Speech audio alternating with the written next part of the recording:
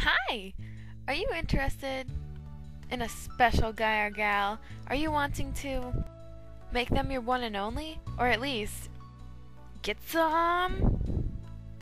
Well, this isn't about getting some, but this is a guide to dating. First things first, you'll need to figure out what you want before you go and try and get it. Let's think about your best friend. What are some things you like about them? Are they funny? Hey, guess what?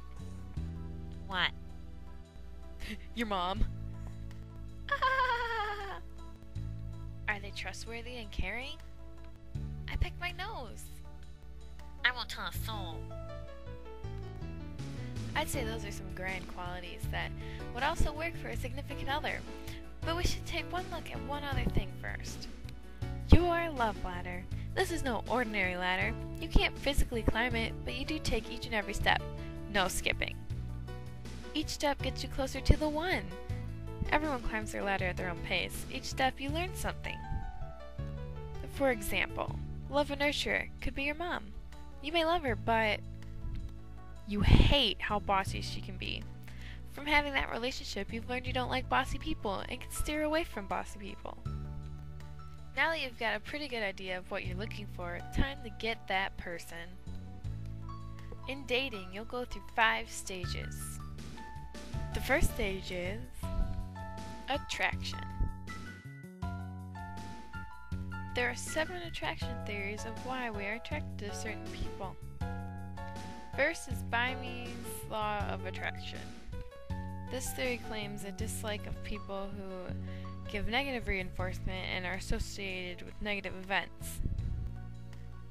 But you are attracted to people who give positive reinforcement and are associated with positive events. The next is complementary needs. This is where you're attracted to someone who is your temperamental opposite and attracted to someone who has characteristics we admire and would like to see in ourselves.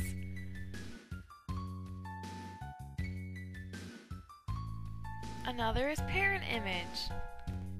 This is where you're attracted to someone who is like your mom or dad. Equity is another.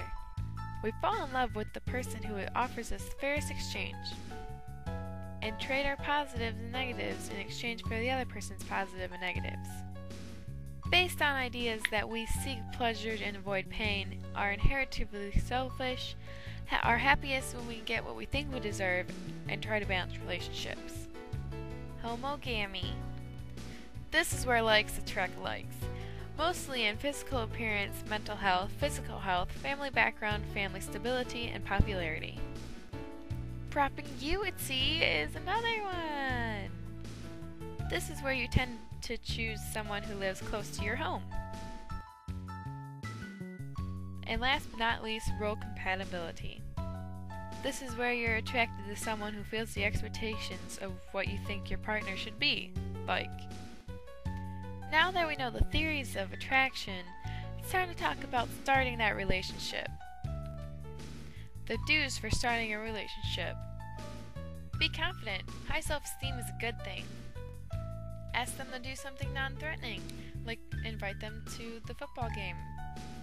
Show interest in the other person. Ask about their likes, their dislikes, their friends and family, values and beliefs, and other things.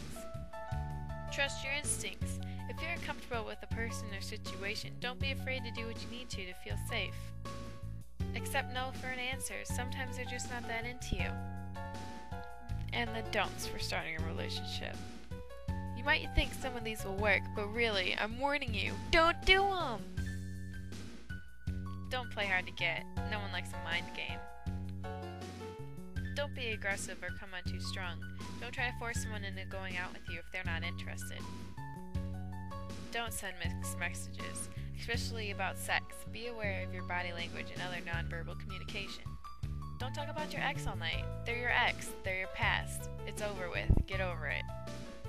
Don't pressure anyone into sex or get them high or drunk to get them to have sex. You wouldn't want that done to you. And don't text during your date. That's just plain rude.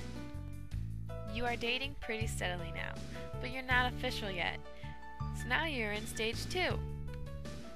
In this stage, the guy will distance himself to find out if this is what he really wants. Uncertainty. I know this is going to be difficult, but don't chase after him. He needs this time to figure out that you're what he really wants. He'll come back eventually and be certain he wants to be with you. Then you're on to the next stage exclusivity. This is where you stop dating others and decide to just date each other. This is where you're going to start feeling like you don't need to try as hard as you used to. But you should still plan dates and plan ahead to show that you care. The next stage is intimacy.